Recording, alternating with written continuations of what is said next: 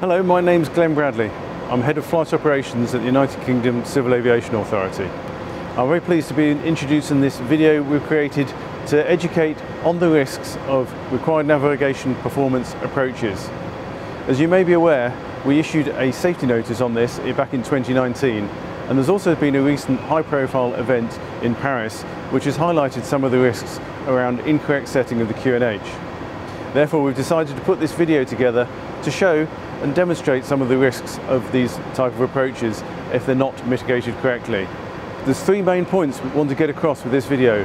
One is around the potential risks that pilots need to be aware of and what procedures they need to adopt to mitigate that risk. The second one is for operators to understand the potential risks and mitigate them by the procedures incorporated in their operations manuals. And the third thing is to educate around the protections provided by the ground proximity warning system and potential lack of protections. I'll hand you over now to Alex and I hope you uh, enjoy the following video.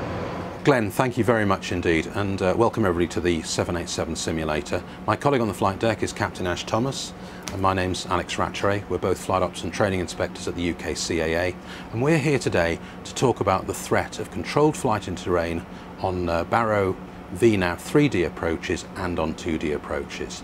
Even though in a 787 simulator, I want to stress that this is a generic video because this threat applies right across all aircraft types and we're going to talk about why that's such a threat and how it may be mitigated and we'll fly some approaches to show you the sort of things you need to be looking at.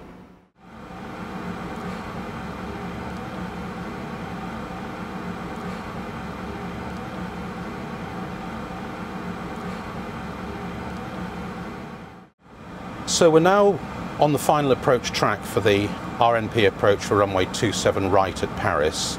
We're indicating 5,000 feet and we have 1011 hectopascals set. Now, it's always worth bearing in mind here that that is a setting that is incorrect, but for whatever reason it is incorrect. As we go down this approach, the Baro altimeter will exactly match the expected altitude we should be getting at each distance check. So checking the baro against distance doesn't help guard against this threat. Another thing to be really careful about is the fact that the entire instrumentation looks extremely correct. So let's look, for example, at the flight mode annunciators. So in this case, we've got speed, final approach course, and glide path. Now that's what we'd expect to see.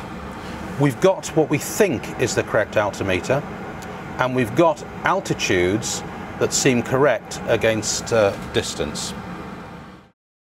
So let's just check 9 miles as the next altitude and even though this approach is nigh on 300 feet below the corrector profile we'll be able to illustrate just how correct everything looks at this stage of the approach with the wrong QNH.